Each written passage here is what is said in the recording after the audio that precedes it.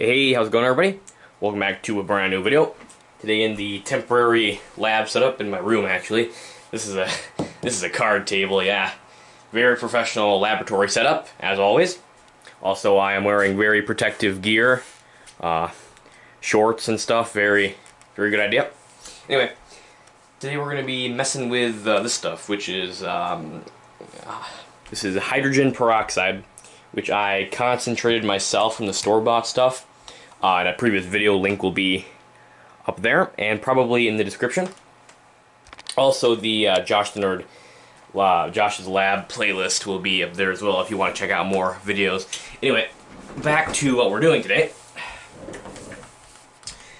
I was searching through my uh, chemical, uh, uh, my chem my chemical storage up there, and I I remembered this but I didn't actually see how far I could get the concentration, so we're going to be seeing if we can up the concentration today. If we can, great. If not, then we'll know that about 30% is the max. Now, over on my computer, I have that, which is the density slash specific gravity. Specific gravity is basically just density of uh, hydrogen peroxide solutions.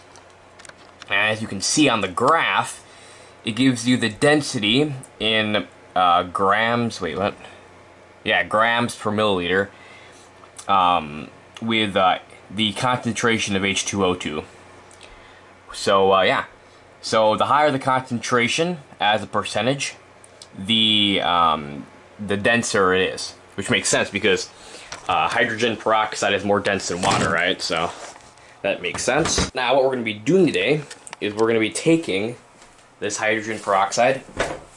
And we're going to be determining the concentration based off its specific gravity.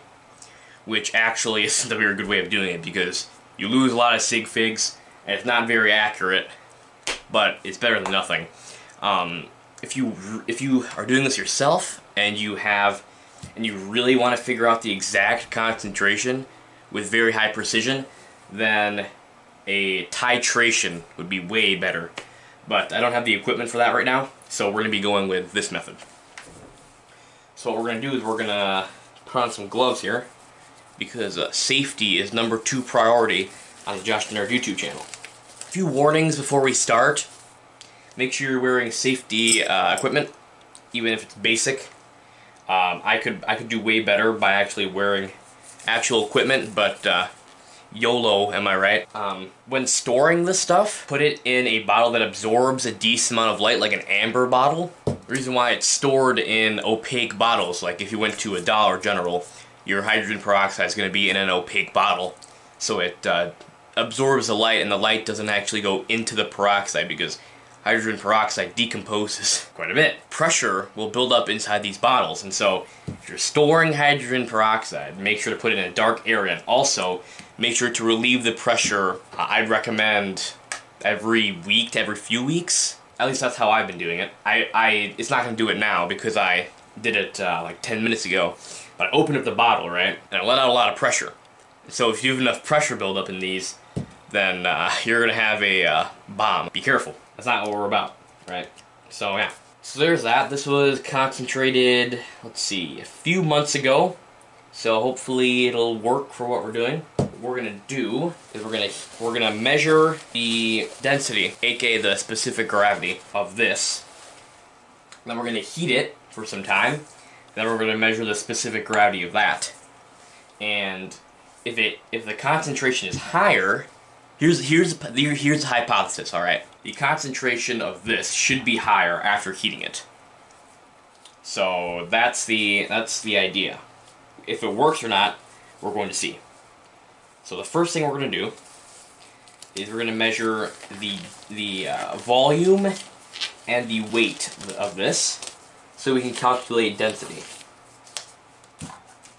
Alright. Probably won't need goggles for this, but whatever. Good practice to have it on anyway. Alright.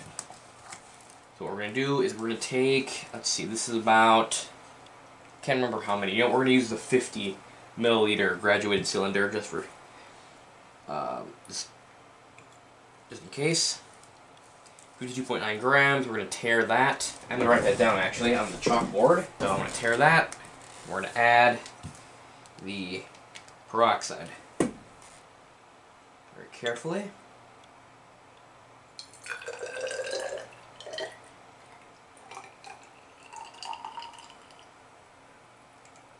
Oh, look at that. It's kind of fizzing. Actually, let me observe this for a second. Huh. Okay, so there's a lot of bubbling going on.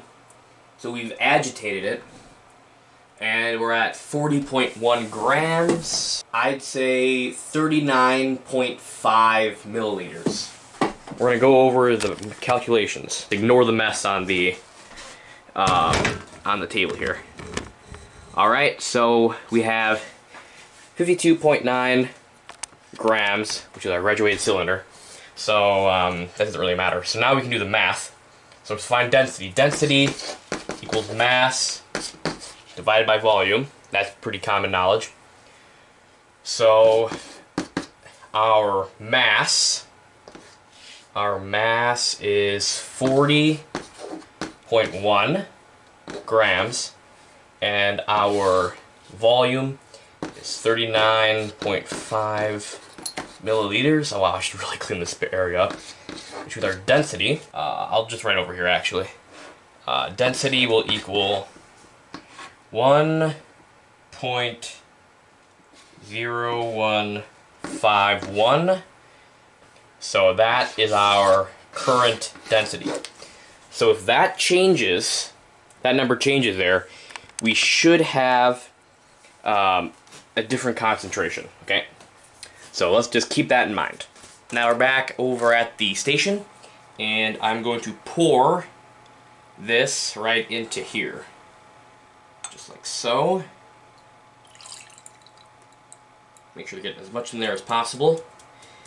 I would wash this, but it's going to mess with the calculation, so we're just going to have to deal with a little bit of percent error in our math, which is fine. Come on.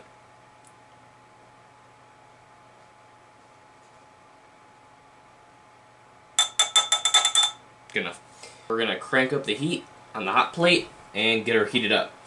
So the idea with this is that what we're gonna do is we are going to um, we're gonna heat this up, right?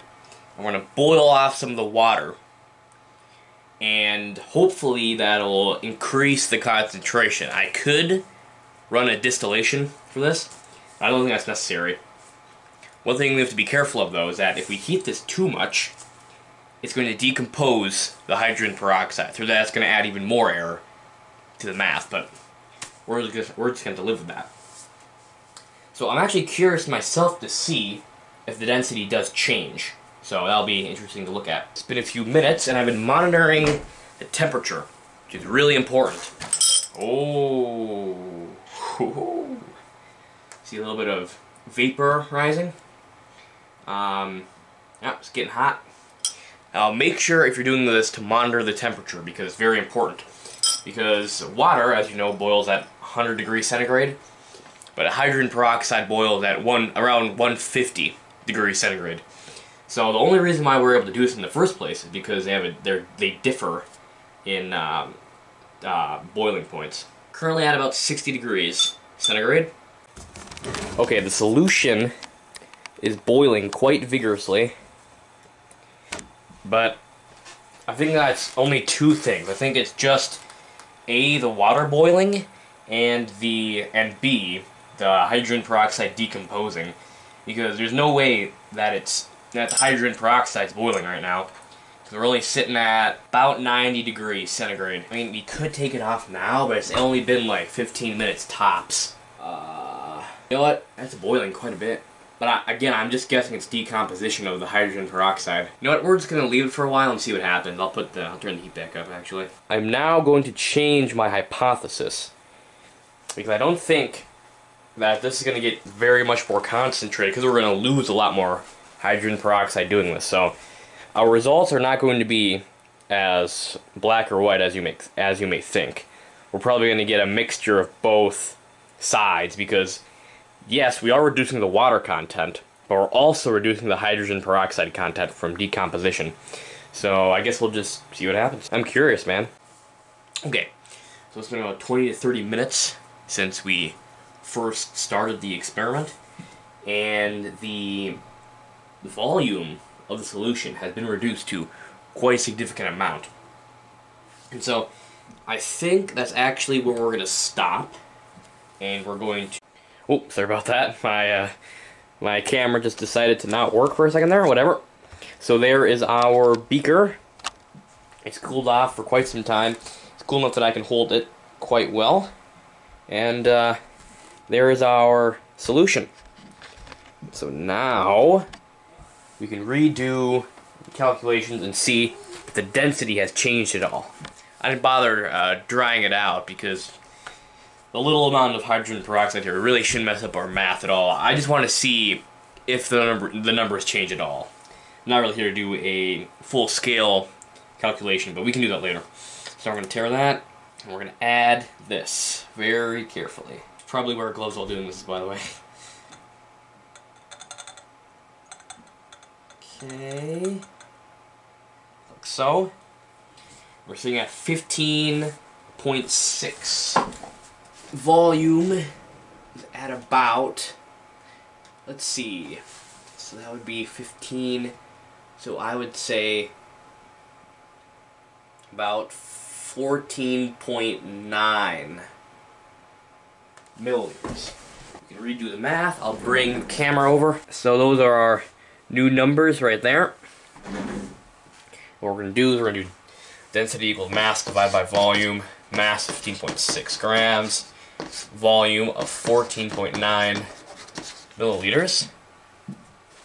So our new density 15.6 divided by 14.9. Oh, and would you look at that? Our new density is 1.0469, three significant figures. And so we went from, move those test tubes, our, our initial density was 1.02, and our new density is 1.05. So that means we have a difference of 0.03 grams per milliliter of density. And so there you go. More we heat up, more concentrated it gets. And again, that's that's a very, very small amount. And I also had a very low amount of peroxide here. And yeah, that's basically all I have for today. So thanks for watching this video, and uh, look forward to some more in the future. Have a good one.